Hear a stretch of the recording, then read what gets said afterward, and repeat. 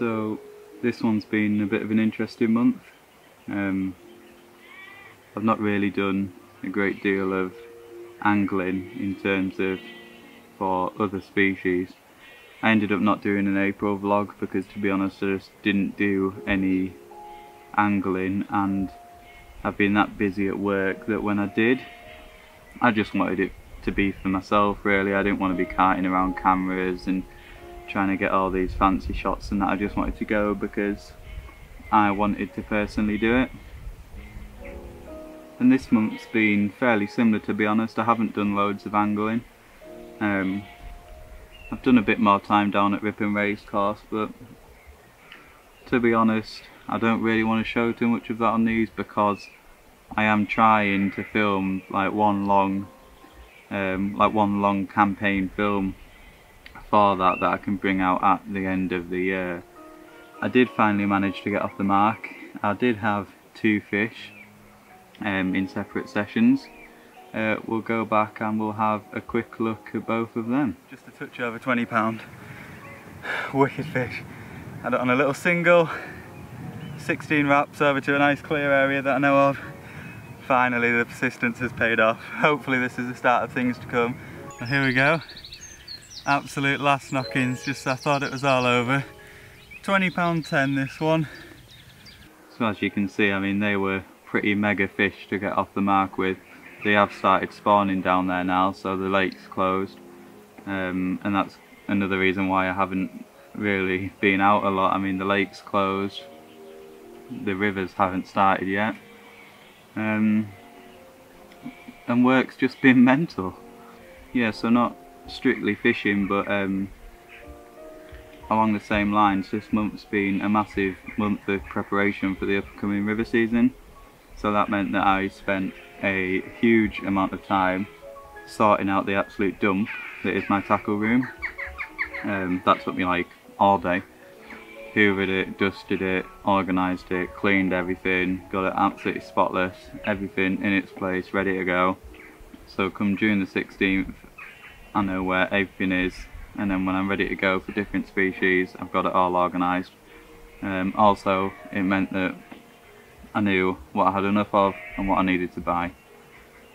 I also started getting some baits chopped in half to start pre-baiting stretches of the river and just doing an all-round bit of preparation really. The rest of this month's been spent actually looking for fish themselves.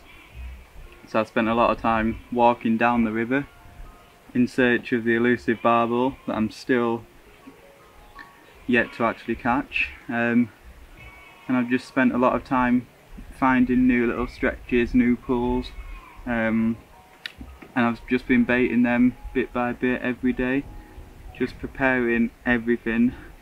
So then I'll have my bait ready. The swims will be baited hopefully good to go just got a couple more tackle orders to do and then I'm good to go for June 16th so hopefully when I see you next time it'll be in the river season and I'll be holding either some chub or preferably some barbel which would be amazing. But I will see you then when the good times are upon us. But what I'll do is I'll leave you with the footage that I've taken from this month and that just kind of shows you how I've actually gone about baiting and preparing the river. So yeah, that's it from me and when I see you next time we'll be well into the river season and hopefully I'll be a bit more prepared, there'll be a bit more going on and there'll actually be a few more fish. Um, yeah yeah, but um, I'll see you then.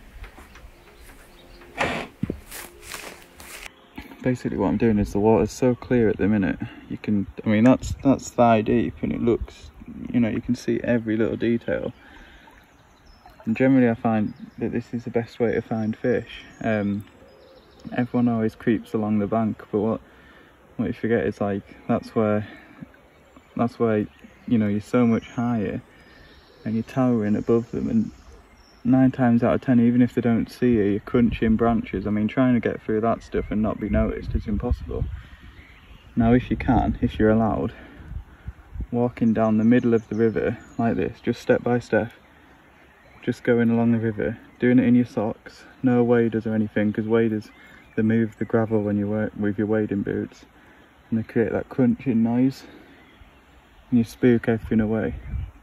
But if you can just creep down in your socks like this, it's an absolutely amazing way of finding fish you can get where you can get within almost touching distance of them. They just don't seem to spook. And you get really up close and personal with all of the features in the river. Um, and you can just go along and you can you can just drop pellets on them and it also means that you learn where the snags are before you start fishing. And another thing is the minnows tickle your feet when you stop walking. oh my god.